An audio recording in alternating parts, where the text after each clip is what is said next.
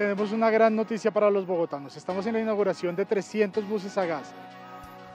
En el día de hoy me siento muy feliz, contenta, orgullosa de pertenecer a esta nueva era. Estamos entregando una parte de los primeros 300 buses que vienen a mejorar la movilidad en la ciudad de Bogotá.